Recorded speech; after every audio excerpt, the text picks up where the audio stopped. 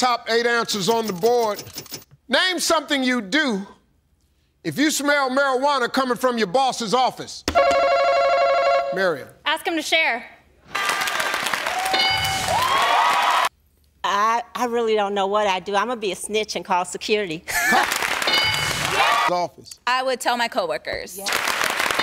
His office. I'm gonna use it as blackmail. I'm gonna mind my business. Maybe just, you know, cover it up, open a window.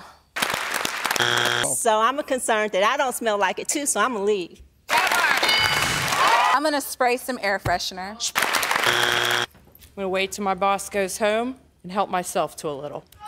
Mate.